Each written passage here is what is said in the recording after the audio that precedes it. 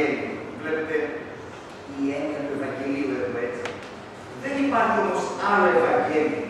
Υπάρχουν μόνο μερικοί που σας αναστατώνουν και θέλουν να διαστρεβλώσουν το Ευαγγέλιο του Χριστού. Αλλά κι αν εμείς ή ακόμη και ένας άγγελος από τον ουρανό σας κηρύξει ένα Ευαγγέλιο διαφορετικό από το Ευαγγέλιο που σας κηρύξαμε να είναι ανάθεμο. Σας το είπα κιόλας και σας το ξαναλέω.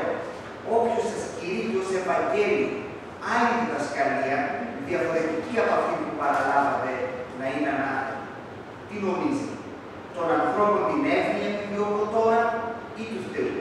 Ή μήπως ζητώ να αρέσω στους ανθρώπους; Όχι. Γιατί αν πράγματι ζητούσα να αρέσω στους ανθρώπους, δεν θα ήμουν υπηρέτης του Χριστού.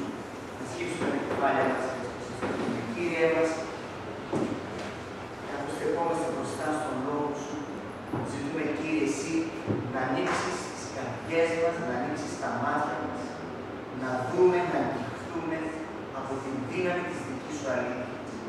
Καθώς που ψευχόμαστε στο έντονο σώμα του Κυρίου μας Ιησού Χριστού. Αμήν. Ξανά και ξανά ο Παύλος μίλησε για το Ευαγγέλιο. Σας κήρυξε το Ευαγγέλιο, αν κάποιος άλλος κηρύξει κάτι άλλο από αυτό το Ευαγγέλιο, αν κάποιος διαστρεβλώνει το Ευαγγέλιο, τι είναι όμως το Ευαγγέλιο; Τι είναι όμως το Ευαγγέλιο; Και θα ήθελα μέσα από τα εδάφια αυτά και συγκεκριμένα από τα πρώτα εδάφια, τα εδάφια 6 και 7 και κυρίως το εδάφιο 6, να δούμε τρία πράγματα που είναι το Ευαγγέλιο. Τρία πράγματα που είναι το Ευαγγέλιο. Α, κοιτάξτε το εδάφιο 6. Λέει, απορώ πως τόσο γρήγορα απομακρύνεστε από τον Θεό που σας κάλεσε με τη χάρη του Χριστού και ακολουθείτε ένα άλλο Ευαγγέλιο. Άρα, το πραγματικό Ευαγγέλιο είναι αυτό που μόλις είπε. Δηλαδή, τι, ο Θεός που σας κάλεσε με τη χάρη του Χριστού. Αυτό είναι το Ευαγγέλιο. Ο Θεός που σας κάλεσε με τη χάρη του Χριστού. Οτιδήποτε έξω εκεί πέρα από αυτό είναι ένα άλλο Ευαγγέλιο. Τι λοιπόν είναι αυτό το Ευαγγέλιο, το αυθεντικό το οποίο κήρυξε ο Παύλος; Θέλω να δούμε τρία πράγματα που υπάρχουν μέσα σε αυτή τη φράση. Το πρώτο είναι ότι το Ευαγγέλιο είναι μία κλίση, ένα κάλεσμα. Προσέξτε τι λέει. Απορώ πως τόσο γρήγορα απομακρύνεστε από τον Θεό που σας κάλεσε με την χάρη του Χριστού. Το Ευαγγέλιο είναι μία κλίση. Μία κλίση να βγούμε από κάπου, από έναν τρόπο, από μία κατάσταση και να μεταφερθούμε σε μια άλλη κατάσταση. Είναι ένα κάλεσμα. Είναι μια κλίση. Μια κλίση που ο Θεός απευθύνει στη ζωή μας. Και α, ε, υπάρχουν δύο τρόποι με τους οποίους μπορεί να καλέσεις κάποιον. Ε, αν ε, είχατε ή έχετε παιδιά στην εφηβεία, θα μπορείτε να καταλάβετε πάρα πολύ καλά ε, αυτό το παράδειγμα που θα σας πω. Το παιδί σου παίζει κομπιούτερ, δεν έχει καμία σχέση με τα παιδιά μου αυτό το παράδειγμα που θα σας πω. Ε, λοιπόν, το παιδί σου παίζει κομπιούτερ, ξέρει αυτά τα παιχνίδια που αν ξεκινήσεις δεν τελειώνεις. Έτσι και περνάει μία, δύο, τρεις, τέσσερις, πέντε ώρες και του λες αρκετά έπαιξες κομπιούτερ, φτάνει τώρα. Την πρώτη φορά που τον καλείς να σταματήσει, ε, δεν τη έχει ακούσει καν. Έτσι, εσύ το κάλεσε, αλλά αυτό δεν σε έχει ακούσει καθόλου. Ε, τη δεύτερη φορά που το λες, σταμάτα να παίζεις και πήγαινε για ύπνο, εκεί ακούει έναν ε, ακαθόριστο ήχο. Ακόμα δεν έχει καταλάβει. Λες, ακούει ένα, κάτι, ένα ενοχλητικός ε, ήχος, ένας γόμος. Ε, την τρίτη φορά που του το λες, σταμάτα να παίζεις το κομπιούτερ και πήγαινε. Ε, σε άκουσε, αλλά τώρα κάνει και σε άκουσε. Α, την τέταρτη φορά που του το λες, σταμάτα να παίζει και πήγαινε για ύπνο, ε, σε άκουσε και είναι η ώρα που θα τα ακούσεις. Έτσι, άσε το προηγούμενο και τα λοιπά. Αυτός είναι ένας τρόπος με τον οποίο μπορείς να καλείς κάποιον να κάνει κάτι. Και ξέρετε, μετά από την πέμπτη, έκτη, έβδομη φορά, τι πας και κάνεις, να πηγαίνει, πατάς το κουμπί, βγάζεις την πρίζα και λες τέλος. Έτσι.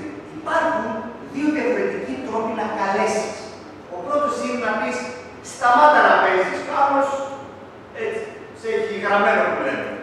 Ο άλλος τρόπος είναι να καλέσεις με έναν τρόπο τέτοιο που δεν έχεις περιθώρια να μην ανταποκριθείς.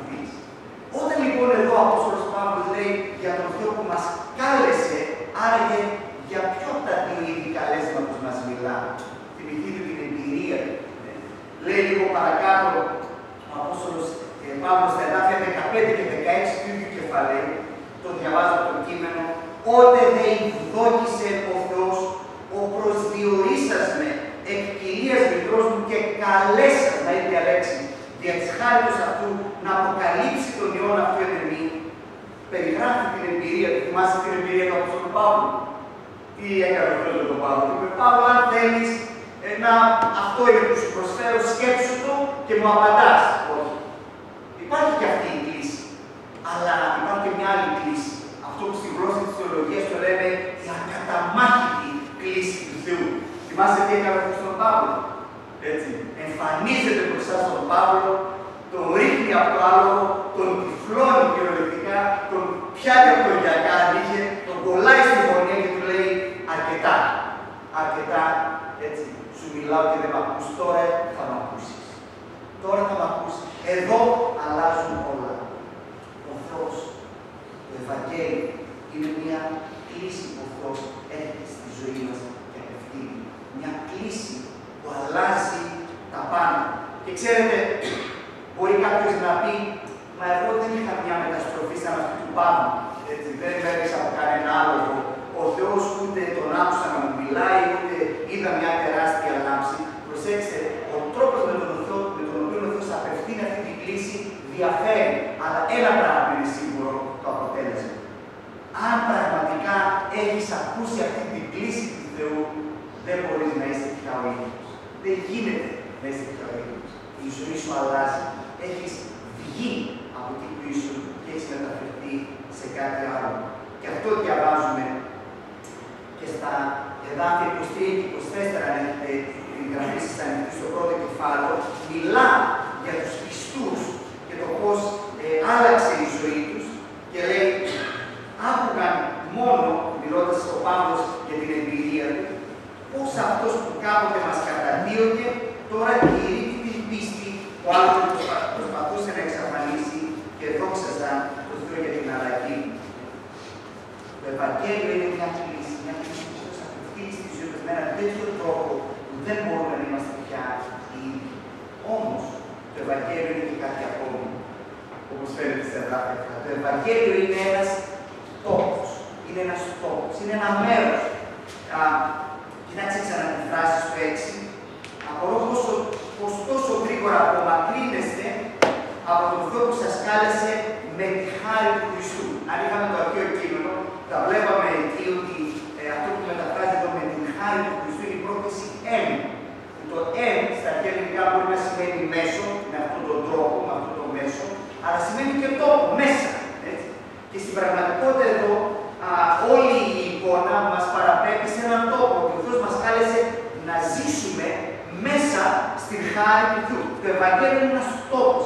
Φεύγουμε από εκεί που ήμασταν. Κοιτάξτε, α, στο εδάφιο 4 λέει αυτός όπως το θέλει ο πατέρας μας, αυτός έδωσε τη ζωή του για τις αμαρτίες μας για να μας λυτρώσει, να μας απελευθερώσει, να μας βγάλει από τον τωρινό κόσμο όπου κυριαρχεί το κακό και να μας φέρει σε έναν άλλο τόπο, σε ένα άλλο μέρος. Το Ευαγγέλιο είναι ένας άλλος τόπος, μια άλλη τοποθεσία, ένα άλλο μέρος. Ο Θεός μας παίρνει από μια πατρίδα στην οποία ζούσαμε και μας πηγαίνει σε μια άλλη πατρίδα. Α, δεν ξέρω αν είδατε έστω κομμάτι από αυτό το βίντεο που κυκλοφορεί και εμείς ότι όλοι ακούσαμε με αυτόν τον τζιχαντιστή που σκοτώνει τον Αμερικανό δημοσιογράφο και μόνο από τον τρόπο, προσέξτε, τίποτα δεν φαίνεται από τον άνθρωπο. Έτσι, όλα είναι καλυμμένα, αλλά από τον, από τον τρόπο της λαλιάς, από την φωνή του, ε, κατάλαβα την πρώτη στιγμή ότι αυτός πρέπει να είναι μεγαλωμένος από τη Μεγάλη Βρετανία και από αυτές τις συνοικίες του Λονδίνου. Μόνο που άκουσα τη φωνή του. Σκεφτείτε. Το Ευαγγέλιο είναι ένας τόπος. Όταν πια ανήκω σε αυτόν τον τόπο, οι άλλοι ε, με βλέπουν να κατοικώ όπου κατοικώ, αλλά λένε εσύ είσαι από κάπου αλλού. Ε, από κάπου αλλού. Όταν ζούσα στην Αμερική, όσο και προσπαθούσα με τα αγγλικά μου, έτσι που διακή μου προφορά ήταν πάντοτε σκληρή και τραγιά και το καταλάβαινα όλο ότι δεν είμαι Αμερικάνος και μου λέγανε αμέσως από πού είσαι.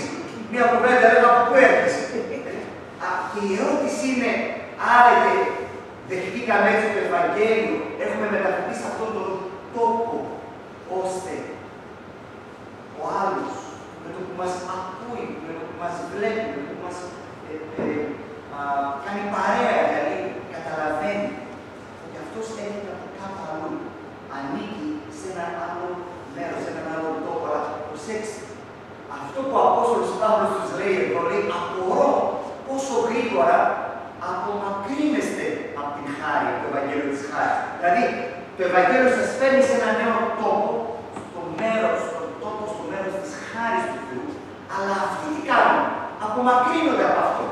Προσέξτε, σκεφτείτε λιγάκι την εικόνα. Σας λύτρωσε, σας έβγαλε από τη δουλεία, σας έφερε σε ένα μέρος γεμάτο με τη χάρη του Θεού, αλλά εσείς όλη την ώρα απομακρύνεστε και θέλετε να πάτε πίσω. Τι σας θυμίζει αυτό; Μας θυμίζει τον Ισραήλ. Δεν μας θυμίζει την ιστορία του λαού Ισραήλ. Ο Θεός τον βγάζει από την είναι πίσω στο background είναι αυτή η εικόνα. Ο Θεός έβγαλε από τον οίκο δουλεία στον λαό Ισραήλ, τον πήγε σε έναν άλλον τόπο και δεν είναι μόνο η της Ευαγγελίας. Ακόμα και η έρημος είναι ένας τόπος στον οποίο ο Θεός δίνει την χάρη. Αλλά αυτοί, θυμάστε, οι Ισραηλίτες τι αναπολούν όλη την ώρα ξανά και ξανά απογωγίζουν τα σκόρτα και τα κρεμμύδια της Αιγύπτου. Μετατίθενται. Απομακρύνονται. Η, η έρημος, όπως σας είπα, είναι ένας τόπος χάρης. Θυμάστε ο Θεός μέσα στην έρημο ακόμη ευλογεί αυτούς τους ανθρώπους. Τους δίνει το μάνα, ψωμί από τον ουρανό. Το μάνα είναι ένα εβραϊκό επιφώνημα. Στα εβραϊκά σημαίνει τι είναι αυτό; Έτσι, να σου έρχεται από τον ουρανό ψωμί, τώρα αυτό από πού ήρθε που λέμε εμείς. Έτσι. Αυτό σημαίνει η λέξη μάνα στα εβραϊκά. Λοιπόν, τους δίνει μάνα. Θέλουν κρέας, τους δίνει ορτίκια. Θέλουν νερό, μέσα από το βράχο βγάζει νερό. Ε, είναι ένας τόπος στον οποίο ο Θεός φροντίζει τα σανδάλια τους δεν παλιώνονται. Και όπως αυτοί εδώ ζουν μέσα στον τόπο της χάρης, αναπολούν και μετατίθεται, μεταφέρονται και πάνε πού; Στην Αίγυπτο. Θέλουν τα σκόρτα και τα κρεμμύδια. Και η ερώτηση είναι γιατί. Ξέρετε γιατί; Επειδή η χάρη μας ταπεινώνει. Επειδή ο κάθε πατέρας δεν ήθελε το βράδυ που θα γυρίσει στο σπίτι να του πούν τα παιδιά του τι καλό έφερες να φάμε σήμερα και να πει Α, παιδιά, τι θέλετε, σκόρδα ή κρεμμύδια θέλετε. Και να πούν σκόρδα. Α, έχω τα καλύτερα σκόρδα. Να πάει στον κήπο του, να τα φέρει και να πει κοίταξε τι σκόρδα σας έφερε. Και μάλιστα όταν έχεις σκόρδα στον κήπο σου, μπορείς να είσαι περήφανος για αυτά, να κοπιάζεις, να τα καλλιεργήσει. Είναι δικά σου σκόρδα και πολλές φορές να τα συγκρίνεις και με τα σκόρδα του γείτονα και να νιώθεις πάρα πολύ καλά για τα καλά σκόρδα τα οποία έχεις αδελφή. Χάρη σε ταπεινώνει. Η χάρη σε φέρει σε εκείνο το σημείο που λες δεν έχω, δεν ξέρω, δεν μπορώ, εξαρτιέμαι από τον Θεό και ξανά λέω δεν υπάρχει τίποτα πιο ταπεινωτικό από την χάρη. Γι' αυτό ξανά και ξανά και ξανά ο άνθρωπος θέλει την Αίγυπτο, θέλει την δουλειά, θέλει τα έργα, θέλει την δική του προσπάθεια, θέλει τα σκόρδα και τα κρεμμύδια, τα οποία είναι δικά του. Τα έχει στα χέρια του και είναι χαρούμενος για αυτά, είναι περήφανος για αυτά και πιστεύει ότι είναι οι δικές του δυνάμεις που έστωσαν το τραπέζι και θα φάμε σήμερα. Ο Θεός, το Ευαγγέλιο είναι ένας τόπος. Ένας τόπος μέσα στον οποίο λέμε ο Χριστός τα κάνει όλα για μένα και ο Χριστός μου αρκεί.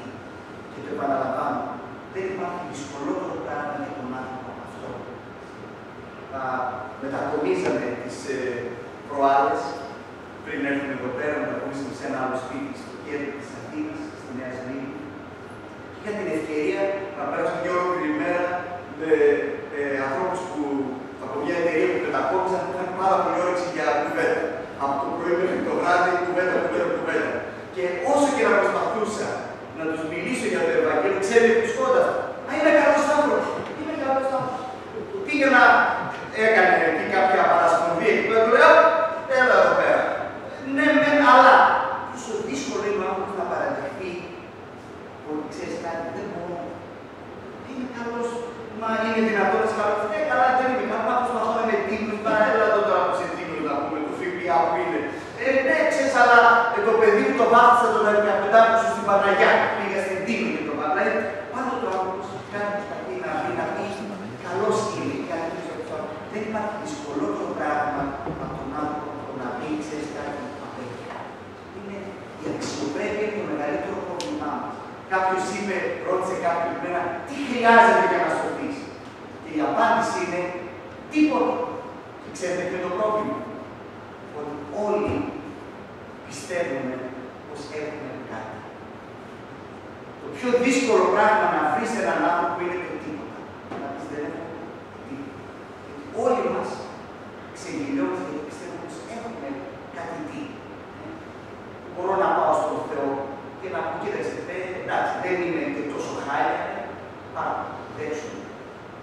Και μετατίθεστε, λέει, από τον τόπο της χάρης, πηγαίνετε α, ξανά σε ένα άλλο Ευαγγέλιο, το οποίο δεν είναι Ευαγγέλιο. Δεν είναι Τι είδαμε τώρα, τι είναι το Ευαγγέλιο, είναι μια κλίση, είναι ένας τόπος. Και τέλος το Ευαγγέλιο είναι μια σχέση. Είναι μια σχέση. Κοιτάξτε, τι λέει, απομακρύνεστε από τον Θεό που σας κάλεσε με τη χάρη του Χριστού. Κοιτάξτε, το Ευαγγέλιο δεν είναι μια ιδέα, δεν είναι μια έννοια, είναι ένα πρόσωπο. Είναι μια σχέση. Το Ευαγγέλιο είναι ο ίδιος ο Θεός. Και, και το ότι δέχομαι το Ευαγγέλιο στην πραγματικότητα δεν σημαίνει ότι αποδέχομαι κάποιες ιδέες, κάποιες έννοιες ή ακολουθώ έναν άλλο τρόπο ζωής, κάποιες εντολές ή κάποιους άλλους κανόνες, αλλά είναι ότι έρχομαι σε επαφή με ένα πρόσωπο από τον Θεό που σας κάλεσε με την χάρη του Χριστού. Και λίγο παρακάτω, όταν ο Απόστολος Παύλος περιγράφει τη δική του προσωπική εμπειρία, στα δάφια 15 και 16, λέει, «Ότε δεν ευλόγησε ο Θεός, ο προσδιορίσας με ευκαιρίας μικρός μου και καλέσατε της χάριτος αυτού να κάνει τι, να μου τα εξηγήσει όλα, να τα καταλάβω όλα, όχι, να αποκαλύψει τον ιόν αυτού εν εμεί. Και τι κάνει ο Παύλος, διανακηρύττω αυτό. Τι είναι το κήρυγμα του Παύλου, το κήρυγμα του Παύλου, το Ευαγγέλιο που ο ίδιος γνώρισε, που ο ίδιος κηρύγει είναι ένα πράγμα. Είναι ο Χριστός. Είναι ο Χριστός; Είναι ένα πρόσωπο. Και είναι μια σχέση βιωματική με αυτό το πρόσωπο. Σκεφτείτε τον ίδιο τον Κύριο μας τον Ιησού Χριστό όταν ήταν εδώ στην γη. Δεν ήρθε ο Ιησούς Χριστός να μας πει τι να κάνουμε ή πώς να το κάνουμε. Ήρθε να σχετιστεί μαζί μας. Θυμάστε τον πλησιάζουν κάποιοι και το λένε πού μένεις στα Ευαγγέλια; Δεν τους λέει τρεις δρόμους παρακάτω στη γωνία δεξιά. Τους λέει ελάτε να δείτε. Θυμάστε όταν θεραπεύει έναν λεπρό δεν του λέει απλά καθαρίσου, απλώνει το χέρι και τον αγγίζει. Όταν θεραπεύεται η αιμορρούσα, σταματάει μέσα στο πλήθος και λέει ποιος με άγγιξε, γιατί το κάνει αυτό; Γιατί ο Χριστός δεν ήρθε απλά να δώσει κάτι. Κάποιος θα έλεγε τι άλλο θέλει η αιμορρούσα. Πήρε αυτό που ήθελε. Πήρε από τον Χριστό αυτό το οποίο χρειαζόταν, αλλά δεν είναι αυτό το Ευαγγέλιο. Το Ευαγγέλιο είναι μια σχέση. Ο Χριστός θέλει να δει τα μάτια σου. Δεν να σε δει. Δεν να έχει σχέση μαζί. Να μάθει το όνομά σου. Ή μάλλον το ξέρει το όνομά σου. Θυμηθείτε την άλλη ιστορία με τον Ζαχαίο. Ζαχαίο, πώς ξέρεις το όνομά του. Κατέβα κάτω. Θέλω να μπω μες στο σπίτι σου. Ο Ιησούς Χριστός είναι το Ευαγγέλιο. Και το Ευαγγέλιο είναι μια σχέση. Δεν είναι μια ιδέα, δεν είναι μια έννοια, είναι μια, μια σχέση. Η ερώτησή μου είναι, έχει αγγίξει το Ευαγγέλιο στην ζωή μας. Έχουμε ακούσει αυτή την κλίση; Από τον Θεό. Δεν ξέρω αν το νιώσατε ποτέ στη ζωή σας, α, που μπορεί να έχεις ακούσει 100 κηρύγματα και έρχεσαι μια Κυριακή στην Εκκλησία και ακούς ένα κήρυγμα και λες, αυτό μιλούσε σε μένα, μιλούσε για μένα. Έχεις ακούσει, έχεις δεχτεί αυτή την κλίση. Έχεις, έχεις αυτόν τον τόπο, ζεις σε μια άλλη πατρίδα, στην πατρίδα της ελευθερίας, της χάρης ή προσπαθείς μες στην Αίγυπτο τον έργο σου και τις δικές σου προσπάθειες να τα καταφέρεις και να επιβιώσεις. Μπήκες μες στην ελευθερία της χάρης του Θεού, στο έργο που ο Ιησούς Χριστός έχει κάνει για σένα και απολαμβάνεις αυτή τη σχέση με αυτόν τον πρόσωπο. Είναι ο Ιησούς Χριστός το πρόσωπο της ζωής σου. Είναι αυτός τον οποίο λαχταράς να δεις εκεί την ημέρα. Είναι αυτόν τον οποίο προωθείς να συναντήσεις, είναι αυτόν τον οποίο ζεις. Αυτό είναι το Ευαγγέλιο. Μια σχέση, ένας τόπος, μια